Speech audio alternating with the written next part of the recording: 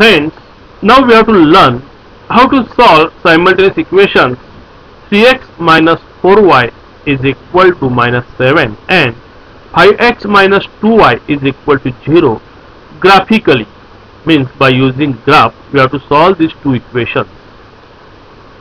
Friends, don't forget to subscribe our channel to get our next updates. Friends, now on this graph page we have to draw graphs of these given equations. Graph of these given equations means straight lines because these are linear equations so their graphs are straight lines. That means you have to draw two straight lines for these two equations. Now to draw straight line we want at least two points lie on this line. So first we have to find out two points of each equation. First given equation is 3x minus 4y is equal to minus 7. Now we have to find two points which satisfy this equation. Now we have to take one value of one of the variable. Value we have to take such that the other value will be better so that we can plot the point on graph easily. Let the value of x be 3. Substituting this value of x in equation and solving this equation we get the value of y as 4. That means we have now one point having coordinates 3 comma 4 x coordinate 3 and y coordinate 4. Similarly, we have to find second point. Now take the value of x as minus 5. After substituting this in equation and solving, we get value of y as minus 2. And therefore, coordinates of the points are minus 5 comma minus 2. Now we have to plot these two points on this graph.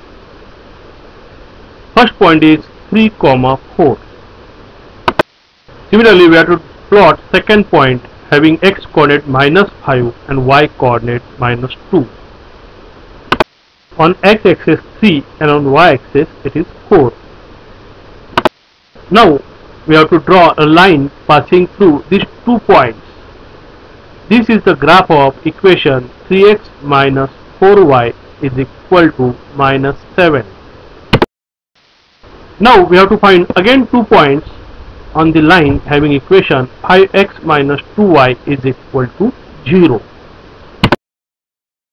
If we put value of x at 0 in this given equation then after solving we will get value of y as 0 and therefore the point has coordinates 0 comma 0 x coordinate is also 0 and y coordinate is also 0 to get second point if you put value of x as 2 then after solving this equation we get value of y as 5 and therefore we have new point having coordinates 2 comma 5 now we have to plot these two points on our graph page.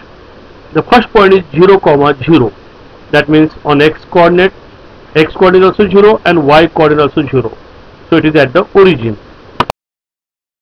now to plot second point as 2 comma 5 x coordinate 2 and y coordinate 5 now we have to draw second line passing through these two new points having equation 5x minus 2y is equal to 0 means this line is a graph of second equation 5x minus 2y is equal to 0 so these two lines intersect each other at one point that point has x coordinate 1 and y coordinate 2.5 so this is the point of intersection and its coordinates 1 comma 25 is the solution of given simultaneous equation.